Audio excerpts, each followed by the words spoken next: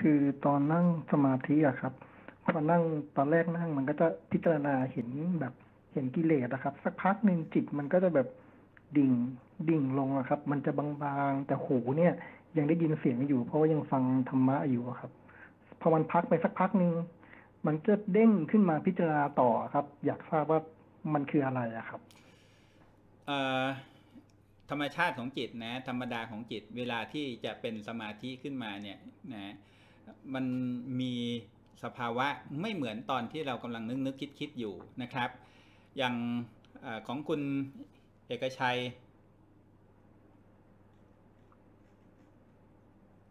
อันนี้คุณเอกชัยใช่ไหมครับ ใช่ครับผม อย่างเมื่อเมื่อกี้ของคุณเอกชัยบอกว่ายังไงนะ คือมันพองเงียบไปแล้วเป็นผวังค์ใช่ไหมเหมือนกับไม่รับรู้อะไรมันใช่ไหมจะบางๆ ใช่แต่หูมันยังได้ยินเสียงอยู่อะครับ อ่า ตรงที่เรามีประสบการณ์ทางจิตที่มันแตกต่างไปจากเดิมนะ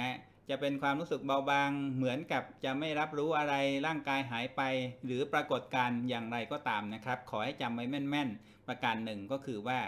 นะเป็นภาวะที่ดี ไม่ใช่ภาวะที่น่ากลัว ไม่ใช่ภาวะที่น่าสงสัยไอ้ไอ้ที่เราจะข้ามความสงสัยไปได้เนี่ยนะ คือต้องเกิดภาวะนั้นขึ้นมาอีกบ่อยๆ แล้วเราเห็นทุกครั้งว่าในที่สุดมันก็ต่างไปอยู่ดี นี่ตรงนี้นะคือ keyword นะ ต้องเกิดขึ้นบ่อยๆครัๆบแล้วเห็นทุกครั้งว่าเดี๋ยวมันก็ต่างไป เดี๋ยวมันก็คลี่คลายกลายเป็นภาวะอื่นไปอยู่ดี นะครับก็อ่าโอเค ของคุณเอกชัยอ่าพอเนี่ยอย่างของคุณเอกชัยเนี่ยนะครับ ที่สงสัยทั้งหมดก็คือว่ามันคือภาวะของอะไร มันคือภาวะของจิตที่เริ่มเป็นสมาธิ แล้วภาวะของจิตที่เริ่มเป็นสมาธิเนี่ยมันมีได้หลายหลาก ถ้าเพิ่งเป็นสมาธิแบบอ่อนๆ มันอาจจะมีความรู้สึกบางๆ มันอาจจะมีความรู้สึกคลุมเครือนะจะชัดก็ไม่ใช่ จะพร่าเรือนก็ไม่เชิงนะ แต่หูยังทำงานอยู่นะ แล้วก็ไอการรับรู้ทางหูเนี่ยมันยังมีความเข้าใจ มันยังมีความเข้าใจในธรรมะครูบาอาจารย์นะครับ แบบนี้เนี่ยแค่คุณเอกชัยจำไว้ว่าภาวะแบบนั้นเป็นภาวะของสมาธิที่ยังฟังธรรมะรู้เรื่อง แล้วถ้าเราฟังธรรมะไปอีกนะครั้งต่อๆมาเนี่ยไม่ต้องไปอยากได้ไอ้ภาวะแบบนั้น แต่ว่าพอใจของเราเนี่ยค่อยๆดิ่งเข้าไปในคำสอนนะแล้วก็มีความสงบเกิดขึ้นมาอีกตามลำดับ เหมือนกับที่เคยผ่านมาเนี่ยนะแล้วเกิดภาวะนั้นขึ้นมาอีก คุณเอกชัยจะมีความกระจ่างมากขึ้นเรื่อยๆ คือจะเห็นว่าภาวะแบบนั้นเนี่ยที่มันปรากฏขึ้นมาเนี่ยนะมันปรากฏขึ้นมาช้าหรือนานไม่เท่ากันนะสั้นหรือว่านานไม่เท่ากันอืมบางครั้งเนี่ยนะมันจะมีความรู้สึกนิ่งยาวนาน แล้วก็ฟังอ่าธรรมะเนี่ยกระจ่างมากเลย ชัดเจนแจ่มใส แต่บางครั้งเนี่ยไอ้ความเบาบางนั้นมันใกล้กับหลับ คือฟังธรรมะเนี่ยเกือบจะไม่รู้เรื่องนะใช่ตอนครับตรงเนี้ยมันคือใกล้ผวังค์แต่ถ้าหากว่าฟังธรรมะยังกระจ่างอยู่ อันนี้คือภาวะใกล้สมาธินะคืออคือถ้าเรามีไอเอ่อ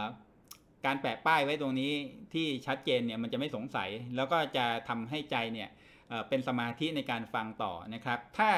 มันเหมือนจะไม่ค่อยรู้เรื่องนะเหมือนจะใกล้ๆหลับอันนี้ก็บอกตัวเองว่ามันใกล้จะตกผวังแล้วนะก็ไม่ต้องสงสัยแล้วก็ไม่ต้องไม่จำเป็นต้องพยายามทำอะไรให้ดีขึ้น เพราะว่าสติที่มันรู้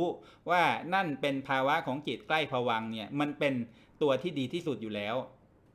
นะคือสติที่มันรู้ตัวเองรู้ภาวะณขณะนั้นว่ามันใกล้ภวังนั่นแหละดีที่สุดอยู่แล้ว แล้วถ้าหากว่าเรายังฟังธรรมะต่อ เพราะธรรมะของครูบาอาจารย์หลาย ๆ ท่านที่ท่านมีคุณวิเศษทรงฌานนะท่านบรรลุธรรมแล้วเนี่ย